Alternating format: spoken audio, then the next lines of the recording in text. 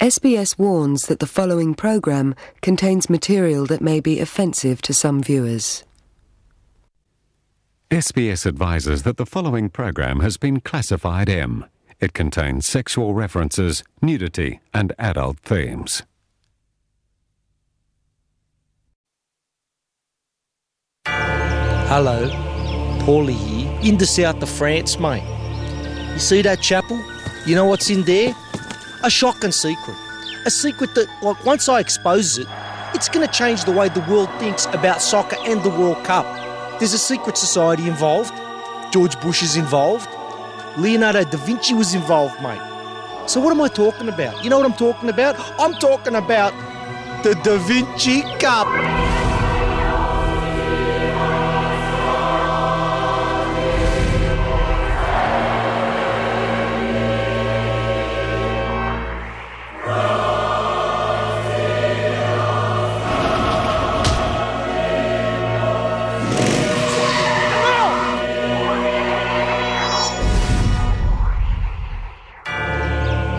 In 1890, the priest of this chapel, his name was Francois Sorneru.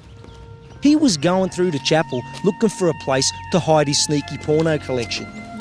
He's pulled up a special, like a, a panel in the floor he's never seen before, never noticed, because normally he was pissed from the wine.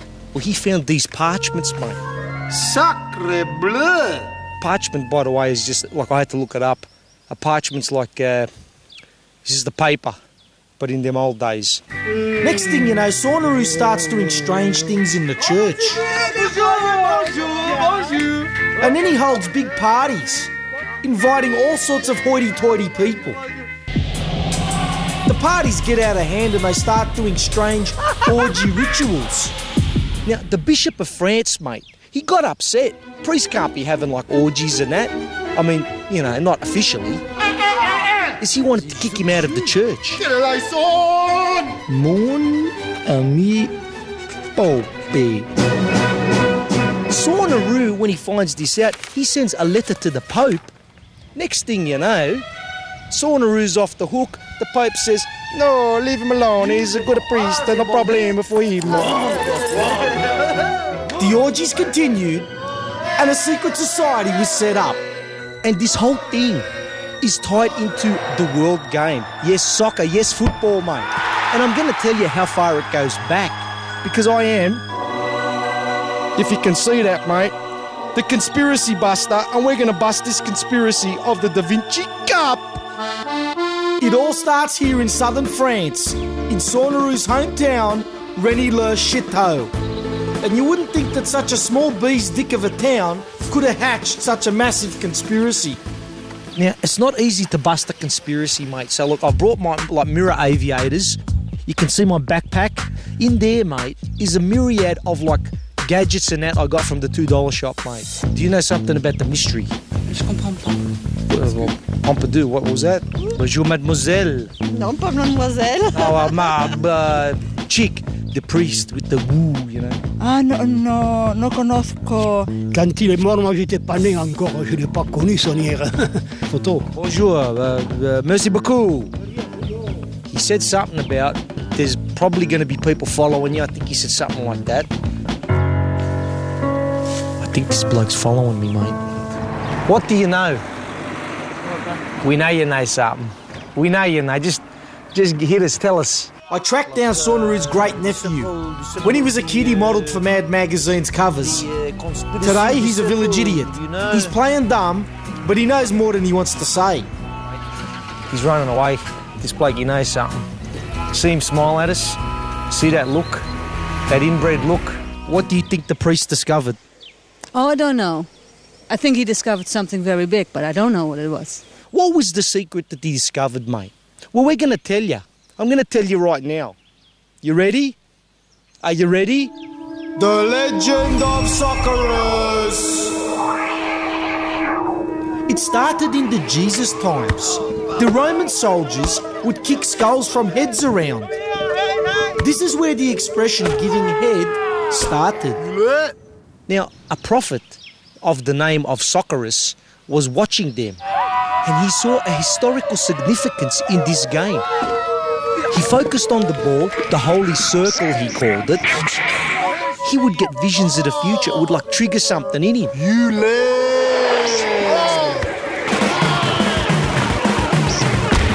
The Romans called him Pilus Amamus. In Latin, that means someone who loves balls. Socrates at this stage didn't have a girlfriend. Socrates started a game named after himself, soccer. And eventually he got himself a girlfriend. But his prophecy abilities didn't extend to chicks. Because he's picked up Pontius Pilate's wife. Probably the stupidest thing he could have done in them days. Lord! I, Germany 2, France 1, England 2, Sweden nil, Spain 3, Holland 2, France 3, Brazil nil. Grass cutting Jesus' big speech, Socrates yelled out all future World Cup results. The village idiot Josephus of Arimathea wrote them down. He had no clue about what he was writing. He was just trying to impress chicks. Was that England or England? That night he's gone back to his cave. And his dreams were haunted by visions of what he had read. In the morning, fully freaked out, he committed stoogeicide. About a thousand years later, when the Crusaders were doing their peace in the Middle East, a group of Special Forces knights were resting in Josephus's cave. Their leader, Sir Kilolots from France, he found the ancient scroll. And as if by divine intervening, he could read ancient scrolls. Just like Josephus, he had freaky dreams too. But he wasn't a village idiot. He could sense the power of the predictions. Uh-huh. He sent the scroll back to France with his unofficial girlfriend. In those days, knights were meant to be virgins, but they were the studs of their day, and they had heaps of sexy medieval chicks. So the story goes Sornaru has found the parchments that have the same list that Socrates has predicted, mate. All the results on the parchment. Apparently copied off one of the original Holy Grail buckets. The legend of the Holy Grail. Buckets? The legend I read on the internet says the sexy medieval chicks engraved the results onto three Holy Grail buckets. They needed spares in case one was stolen or one was mistaken for a piss bucket. In them days, they didn't have toilets. When the Crusaders returned, they were the same but different. They started strange ball worshipping ceremonies. And they insisted that the sexy medieval chicks give them orgies whenever they wanted. And they started bludging. All they wanted to do was play this ball game. A game which would eventually lead to the modern soccer football game. In the tradition of the church, anything fun had to be banned. So the party pooper Pope stepped in. Only he could have chicks and fun. The expression breaking one's balls came from this Pope. The knights and sexy medieval chicks disappeared, taking the Holy Grail buckets with them, and the Grails have not been seen since. But here's an interesting fact the castle that the Grails were made is only five minutes from Sornaru's church, huh? Think about it. I know it's complicated, but concentrate, Stugio. Socrates makes the predictions, Josephus writes them down. The scroll goes back to France with the chicks. They put it on three buckets. The buckets disappear. Sornaru finds the list. But who wrote the list that he's got? The predictions, the World Cup, the whole thing? What's the name of the author at the bottom of the parchment? The signature was the number one egghead himself, Leonardo da Vinci.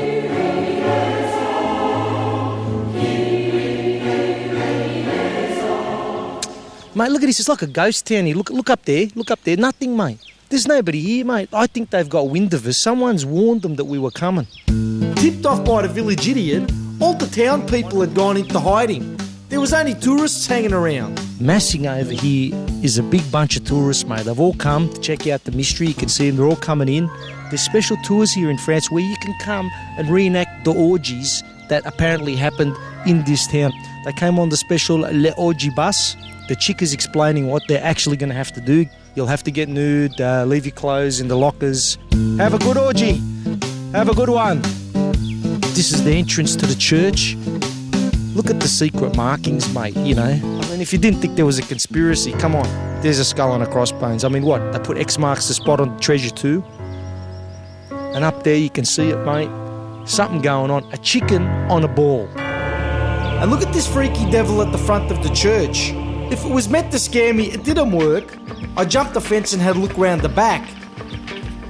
I looked in here. It smelled like goat. I don't know what this thing is here. Was it for water or not sure? And then I noticed the Magdala Tower. I remembered Saunaru built this, allegedly with the cash he got gambling on the World Cup. I looked around the bottom level, nothing. I went up the stairs. Out on the top, there's a good view, but it's cold and you do get shrinkage, so I went immediately back down. As I've come down, I noticed the circle symbology. Look at this circle or ball symbols everywhere. It was time for a gadget. I've seen them films where you get the special pen and then, like, a secret message comes up. I could smell I was getting close, and my feet. Ha! Look at this. I knew it, mate. Nitrous oxide. Now, what is it? Nostradamus. Nostradamus! That's a clue! The next thing I needed to do was leave the town. But look who was following me as I was going Baldy. I'll duck him down through here. I just zigzag up this way, cross the road, up the hill, lost him.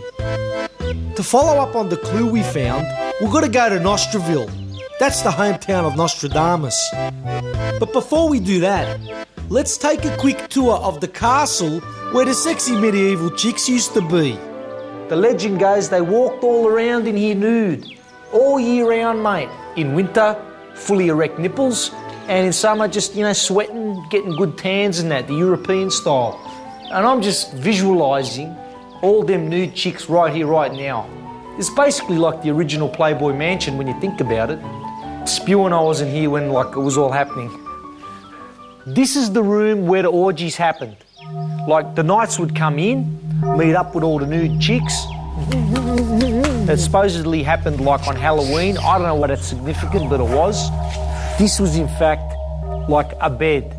In them days, the chicks were smaller because they didn't have good foods like we got now. Now, this room is exciting, mate, because like if you come down here, you'll see the space where Leonardo da Vinci has got involved with the whole thing, mate. Apparently, what's happened is some weird priest, freaky bloke, I don't know, wizard. He's hooked up with Da Vinci right here, mate. Now, this wizard is the one who shows Da Vinci the Grail bucket. And it's here that Da Vinci copies all the scores. And it was the results he got off the bucket that ended up on the parchment in Saunaru's hands. He's okay. This is basically the home of the World Cup right here, man. Have you got it yet, Stooge? Leonardo da Vinci's the guy who designs the World Cup, mate.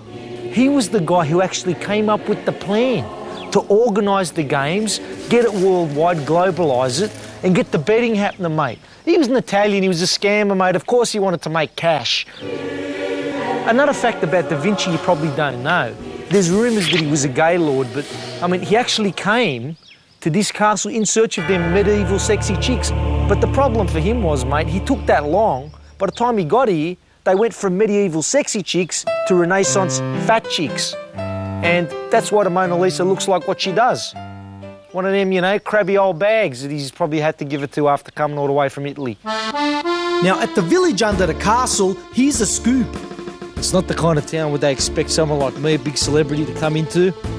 They might be a bit shocked at first. We found the illegitimate great great grandson of Leonardo da Vinci.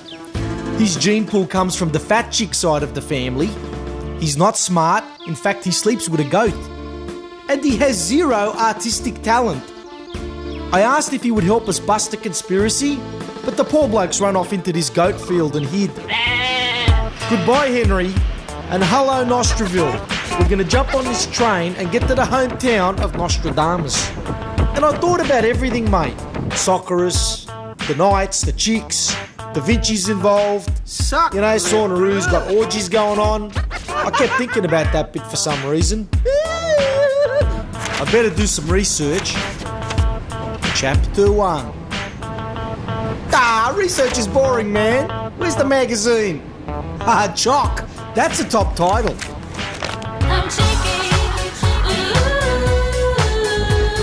This town was actually named after Nostradamus, but just like his nose, the name was a bit long and they shortened it to Nostraville.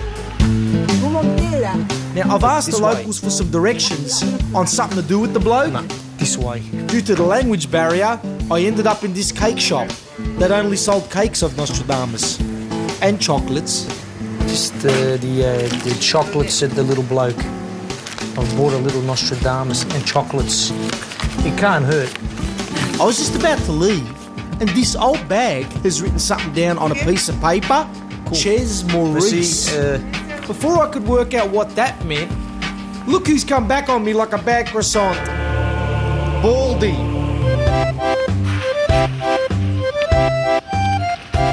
For the second time, I ditched Baldy, and I found the Nostradamus Museum. Look at this, mate. This is hokey dummies. Weird paintings, weird symbols. There's a picture of the young Nostradamus, ugly from day one.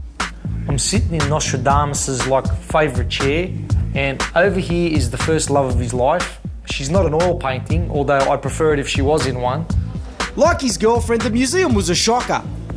And to make matters worse, look who's popped up in the foyer. At first, I was scared of him, He's still following me, mate. but his following style was Z grade, mate. Look, there's Baldy on the left. Pam, pam. Oh, the old duck in the shop trick. Where did he go? I can't see him no more. Come on, mate. If you're gonna follow me, do a better job. He was a stooge. I told the cameraman to stop wasting film on the bloke. Hello? Is Mr. Nostradamus home? Pourquoi? Uh, Monsieur Nostradamus. Desperate for information, I started looking for relatives of Nostradamus. Hello?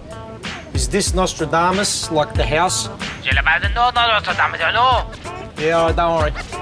I started knocking on doors. No luck, people were just blowing me off. I'm the conspiracy buster, help me. It was starting to get dark, I was hungry, and the investigation was going nowhere. But that's when I spotted this restaurant Chez Maurice. That's the name on the paper the old bag from the chocolate shop gave me. I've looked inside for a clue. I looked at the people, I looked at the food. And then I noticed the owner. Look at that head. Who does it remind you of? Look at that nose. I've taken a punt and asked him if he was related to Nostradamus. Ah bah moi je- Meet Pepe Nostradamus, the great great grandson of the original. This is his restaurant. That's his favourite food. He eats it seven times a day. Now, he does look like a nut, but he's one of the richest men in southern France. Why? Because he's fully connected to the conspiracy and he's open about it. He just won't give you any details. He finds it annoying the amount of people knocking on his door trying to get to the truth and that. His, his lips are sealed. But I found his weak spot. I bargained him a pallet of Tim Tams for a little bit of information. Moi, j'aime bien le Brésil. He always bets on Brazil because he knows that when they're going to win and when they're going to lose, and he knows the way to bet with them. I asked him about the sexy medieval chicks. He just giggled. I asked him if he knew about the Holy Grail bucket. He just laughed at my face.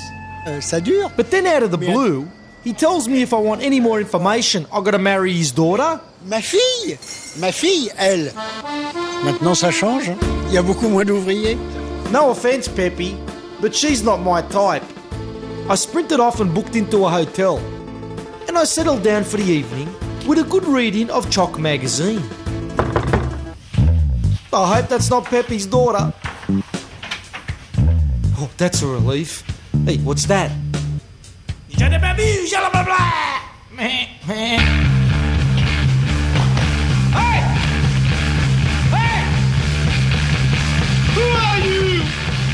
I didn't know what to make of all this, but I went back to check out what the guy left. An antique gun and two circle buttons. What, are they trying to tell me something?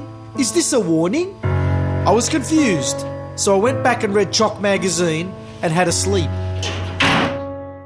This was like a warning from the Circle Society, the secret group, mate, who's behind the whole thing. Trying to, like, you know, scare me off the trail. Oh, what? Mate, well, I can tell you, Stooges, you can leave a sword, you can leave an Uzi, you can leave a tank, even five fat chicks. Nothing's to get me off the trail of this, mate. Bring it on, mate. Bring it on. I was all fired up, but I didn't know what to do. So I've gone into this church. This is where the original Nostradamus is buried. He wanted to have his coffin in the wall standing up vertical.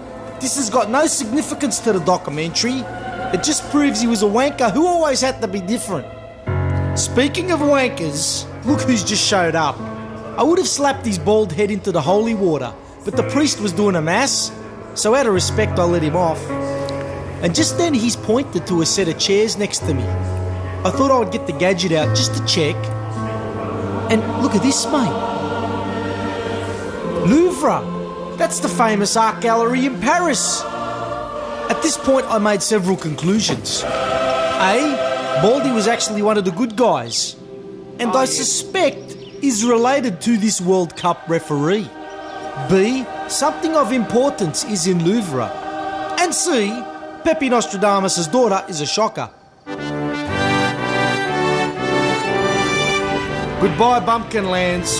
Hello, big city Paris, France. It was time to bust the conspiracy, so I marched straight into Louvre. But in the public areas, I told the cameraman to use a camera phone as not to be suspicious. Stop filming that chick's ass, man. In the statue section, ball symbology was everywhere. And there was a little statue that looked like Tula, Habib's fat girlfriend. I checked out the Da Vinci section. I was trying to unlock the code. All those pointing fingers, it must mean something. But these paintings are complicated. Like, look at this, mate. What? A heifer with man arms choking a duck. Stick that one up the arts, Da Vinci. I was about to give up hope, and then I noticed this a miniature replica of the castle of sexy medieval chicks. This is what it looked like before an army of village idiots inexplicably smashed it to the ground. That's another conspiracy. I knew there was going to have to be a secret entrance around here somewhere. Let's have a look. Ah, there it is. That was easy to find. I've gone in. I was expecting security, but there was none. Move on, Paulie, quick go. I've gone down the stairs that smelled like pee pee. I could tell this section was old. It smelled like my nana's garage. The clock is ticking. Use the gadgets, find some clues, man.